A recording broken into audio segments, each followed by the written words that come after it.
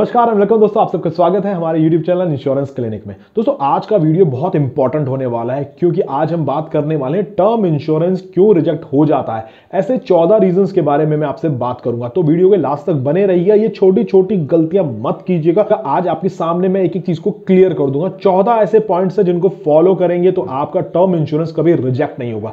रमेश, एक व्यक्ति जिसने अपने पच्चीस साल की उम्र में ही टर्म इंश्योरेंस ले लिया था। 25 साल की उम्र टर्म इंश्योरेंस लेने के बाद में रमेश हो गया था रिलैक्स की मेरे पास एक करोड़ का टर्म इंश्योरेंस है। पॉलिसी को 15 साल होने के बाद में रमेश के साथ दुर्घटना हो जाती है, वो इस दुनिया से अलविदा हो जाते हैं। तो उनकी फैमिली वाले डॉक्यूमेंट्स लेके इंश्योरेंस कंपनी जाते हैं और कहते हैं कि भाई साहब, हमारा एक क्लेम है, इसको आपने पास करना है। तो जब इंक्वायरी होती है तो पता चलता है कि वो इंश्योरेंस क्लेम रिजेक्ट हो गया।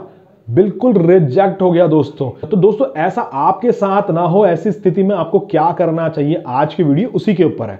दोस्तों 14 पॉइंट्स को बड़े सीरियसली समझिएगा, हम बात करने वाले हैं रीजंस के बारे में जिनकी वजह से टर्म इंश्योरेंस रिजेक्ट हो जाता है। सोच के देखिए कि व्यक्ति ने 25 साल की उम्र में एक करोड़ का टर्म इंश्योरेंस ले लिया है। सोचा कि मेरे जाने के बाद मेरे परिवार को कम से कम एक करोड़ रुपए मिलेंगे, जिसकी वजह से 10-20 साल उनके लाइफस्टाइल में कोई फ़र्क नहीं पड़ना चाहिए। मगर क्या होता है? इंश्योरेंस रिजेक्ट हो जाता है तो जो पैसे मिलने वाले होते हैं, जो उस बंदे ने प्लानिंग की होती है, वो सारी बेकार हो जाती है दोस्तों। और उस समय वो पॉलिसी होल्डर वहाँ पर नहीं होता है, ताकि वो आर्ग्यू कर सके कंपनी के साथ में कि भाई आपने ये गलत किया है, कौन से पॉइंट की वजह से मेरा टर्म इंश्योरेंस फेल हो गया। तो दोस्तों, बिना देरी क्यों है वीडियो के सबसे पहले रीजन के बारे में बात करते हैं।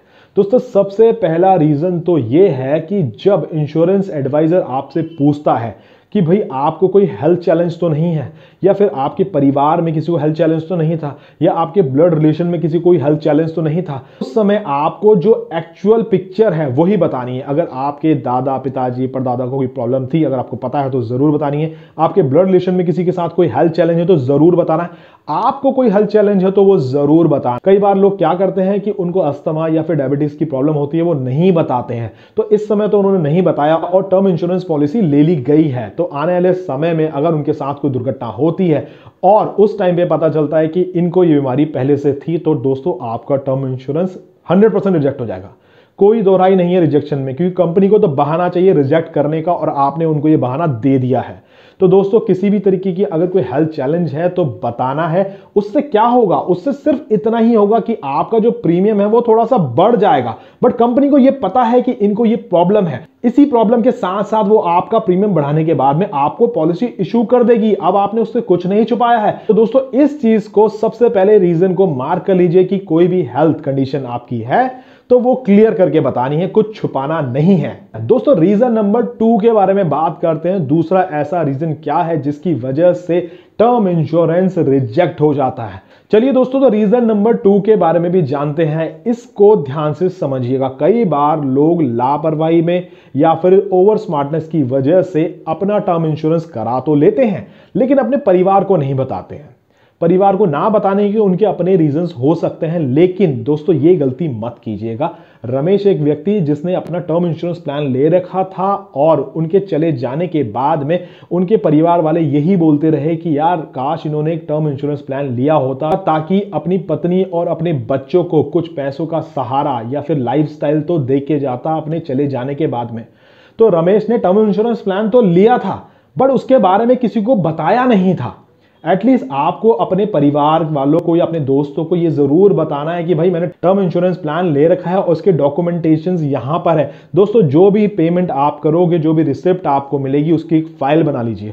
फ़ाइल बनाने के बाद में हर बार का रिन्यूअल प्रीमियम का जो रिसिप्ट है, वो उस फ़ाइल में लगा दीजिए। उससे रिलेटेड कोई भी डॉक्यूमेंट्स है, वहाँ पर लगा दीजिए। क्या क्या डॉक्यूमेंट्स की ज़रूरत पड़ती है? जब हम क्लेम करते हैं तो वो डॉक्यूमेंट्स भी वहाँ पर लगा दीजिए। मुश्किल समय होता है, अपनी और चीज़ों से, अपने दर से बाहर ही नहीं निकल पाता है, मगर ये भी बहुत ज़रूरी है, क्योंकि अगर इंसान ने अपने परिवार के लिए कोई टर्म इंश्योरेंस ले रखा है तो आर्थिक मदद बहुत बड़ी चीज़ होती है उस समय पर वो मिलती है। तो दोस्तों रीज़न नंबर टू में हमने यही बात करी है कि अगर आपने टर्म इंश्योरेंस प्लान ले रखा है या कोई भी लाइफ इंश्योरेंस प्लान ले रखा है तो अपनी फैमिली को ज़रूर बताएँ उसके बारे में। तीसरे नंबर पे आता है हमारा रीज़न जिसकी वजह से इंश्योरेंस प्लान रिजेक्ट हो जाता है, वो है pay your premium on time आपने टर्म इंश्योरेंस प्लान ले लिया है और आपने उसमें जो भी मोड चूज़ किया है, अगर वन टाइम वाला किया तो एक ही बार में पेमेंट करके आप निश्चिंत हो जाते हैं। अगर आपने ईयरली या मंथली मोड चूज़ किया है या क्वार्टरली मोड चूज़ किया है तो उसमें आपको ध्यान देना है कि आपका जो ग्रेस पीरियड है ग्रेस पीरियड से पहले पहले आप अपना प्रीमियम जमा कर दें। आप इसको ऐसे भी समझ सकते हैं कि आपको अपना लास्ट जो ग्रेस पीरियड होता है ना ग्रेस पीरियड तो आने ही मत दो। उससे पहले ही इसको भर दो दोस्तों, क्योंकि ये जो है टर्म इंश्योरेंस है, इसमें आर्थिक मदद मिलती है पॉलिसी होल्डर के चले जाने के बाद उनके परिवार को। तो दोस्तों, आपको इसको बड़े ध्यान से मेंटेन करना है, इसका शेड्यूल बना लो प्लान कर लो इसको कि भाई इस तारीख को भरना ही भरना इतने पैसे तो होने ही चाहिए मेरे पास। ठीक है दोस्तों, ये हो गया reason number three reason number four के बारे में बात करते हैं। चौथा रीजन टर्म इंश्योरेंस रिजेक्शन का यह होता है कि आपने अपना प्रपोजल फॉर्म खुद नहीं भरवाया। या अपने सामने नहीं भरा या खुद नहीं भरा। क्योंकि जब कोई इंश्योरेंस एजेंट आपका फॉर्म पे साइन करा लेते हैं तो उसके बाद आपकी जो डिटेल्स हैं कई बार उन, आप उनको नहीं दे पाते हो या आप उनको ठीक से नहीं बता पाते हो या वो अपने ही अनुमान के हिसाब से फॉर्म को भरने लगते हैं। ऐसी स्थिति में क्लेम रिजेक्शन रेशो बढ़ जाता है। रीजन यही कि, कि जो आपकी एक्चुअल इंफॉर्मेशन थी वो उनको पता नहीं। आपने अपने सामने भरवाई नहीं आपने बताया नहीं। तो उन्होंने अपने हिसाब से जो स्टैंडर्ड तरीका होता है उसके हिसाब से भर दिया है। ये एक रीजन हो सकता है आपका क्लेम रिजेक्ट होने का। तो इस चीज़ का भी ध्यान रखना है। अपने सामने भरवा लीजिए। भले पूरा टाइम लगाइए लेकिन अपने सामने भरवा लीजिए या फिर खुद भरिए। कई बार हम अपना फॉर्म बढ़िया तरीके से भर देते हैं। सब कुछ अच्छे तरीके से भर देते हैं। हमने सारी वीडियोस देखी है कि हमें अच्छे से प्रपोजल फॉर्म भरना है। लेकिन जब हम नॉमनी की डिटेल भरते हैं तो कई बार ढंग से नहीं भरते हैं। अपना एड्रेस गलत कर देते हैं, अपने नॉमनी का नाम गलत कर देते हैं, जिसकी वजह से हमारा क्लेम नहीं मिल पाता है फैमिली को। तो दोस्तों, ये चीज़ आप बड़ी ही ध्यान से अपडेट करा लीजिएगा। जो भी नॉमनी है नहीं कराया तो आप करा लीजिए। पॉलिसी नहीं ली है तो ये चीज़ें देखने के बाद पॉलिसी ले लीजिएगा और ले रखी है। तो इन चीज़ों को ध्यान रख के, इन चीज़ों को दोबारा रीचेक करवा लीजिएगा दोस्तों। दोस्तों, कई बार सारी चीज़ें तो प्रॉपर होती है हमारे पास में। डॉक्यूमेंटेशन होती है टाइम पे प्रीमियम भरा हुआ होता है नॉमिनी का नाम लिखा होता है फैमिली को बताया हुआ होता है।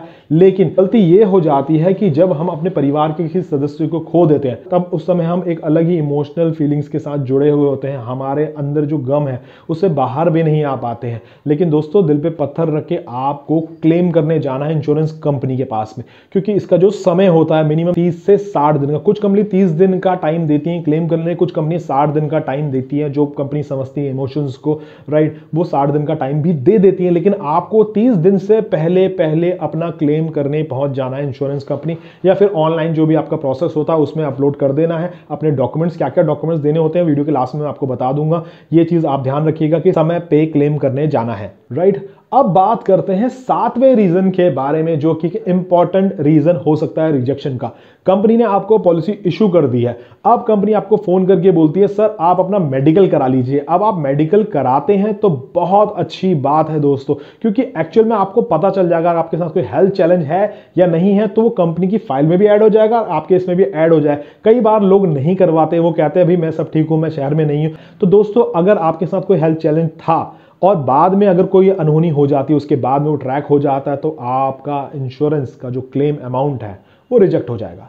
तो दोस्तों मेडिकल की अगर इंक्वायरी आई है तो मेडिकल करा लेना चाहिए। अब बात करते हैं आठवें रीजन के बारे में, क्यों रिजेक्ट होता है हमारा टर्म इंश्योरेंस का क्लेम यहाँ पर हम पॉलिसी के जो टर्म्स एंड कंडीशंस हैं, उनको ढंग से नहीं पढ़ते हैं। हमें एक एक डिटेल को ढंग से पढ़ना है। अगर ये गलती हमने कर दी तो कंपनी को फिर से बहाना मिल जाएगा हमारा क्लेम रिजेक्ट करने का। मैं ये नहीं कह रहा हूँ कि सारे क्लेम रिजेक्ट हो जाते हैं बट मैंने जो पर्सनली अपने सामने देखे हैं, वो सिर्फ़ एक से दो परसेंट क्लेम्स हैं जो कि पास हुए हैं अभी तक। इसीलिए मैं आपसे कह रहा हूँ कि इन कंडीशंस को ध्यान से पढ़िएगा, जो जो डॉक्यूमेंट्स मिलता है उसको ध्यान से पढ़ लीजिएगा। पता चला, आप सोच रहे हैं मेरे पास तो एक करोड़ का टर्म इंश्योरेंस है बट आपने उसके टर्म्स एंड कंडीशन पर ध्यान नहीं दिया है। कई बार ऐसा भी टर्म्स एंड कंडीशन होता है कि आप जैसे नोएडा जैसे एरिया में रहते हैं बट आप फॉरन में घूम रहे हैं फॉरन में आपके साथ कोई दुर्घटना हो गई तो क्लेम मिलता है या नहीं मिलता, वो भी आपकी पॉलिसी डॉक्यूमेंट ज़रूर लिखा होगा। दोस्तों रीजन नंबर नाइन क्यों टर्म इंश्योरेंस रिजेक्ट हो जाता है? हमारा उसके बारे में बात करते हैं। अगर आप किसी भी क्रिमिनल एक्टिविटी से लिंक्ड हैं तो आपका टर्म इंश्योरेंस रिजेक्ट हो जाएगा। कोई भी टेररिस्ट एक्टिविटी या फिर अटैक की वजह से दुर्घटना होती है पॉलिसी होल्डर के साथ में तो भी टर्म इंश्योरेंस का क्लेम नहीं मिलेगा।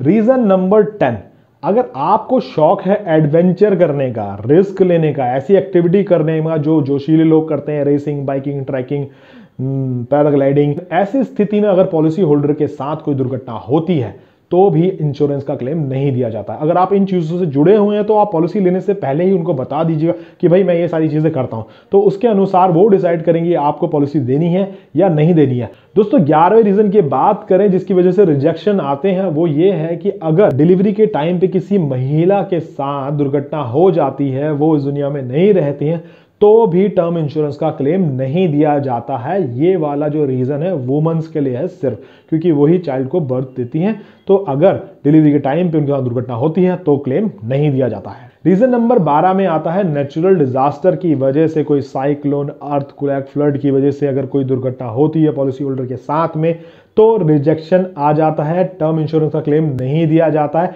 ये भी आप अपने पॉलिसी वर्डिंग से पढ़ लीजिए, कुछ कंपनीज़ दे रही हैं या नहीं दे रही है। नहीं दे रही होती हैं, कई बार तो आपको चेक करना ज़रूरी है, ये ऑप्शन है या नहीं है। क्योंकि यार, ये सारी पॉसिबिलिटीज तो कुछ भी हो सकती है कभी भी। तेरहवा रीजन कब रिजेक्ट होता है? अगर नॉमनी ही अपने पॉलिसी होल्डर का मर्डर कर दे अगर किसी कार्यवाही में यह पता चलता है कि पॉलिसी होल्डर का मर्डर हुआ है और वो मर्डर उनके नॉमिनी ने ही किया है तो भी टर्म इंश्योरेंस का क्लेम नहीं मिलेगा रिजेक्ट हो जाएगा। हाँ कार्रवाई करने के बाद में ये पता चलता है कि नॉमिनी का इसमें कोई लेना देना नहीं था तो मिल सकता है बट ये एक पॉइंट है, ध्यान रखिएगा इसको। लास्ट पॉइंट जो मैं ढूंढ के लाया हूँ आपके लिए, वो ये है कि सुसाइड पॉलिसी होल्डर पॉलिसी लेने के बाद सुसाइड कर लेते हैं तो उनके परिवार को कोई क्लेम नहीं मिलता है, एक पैसा नहीं दिया जाता है।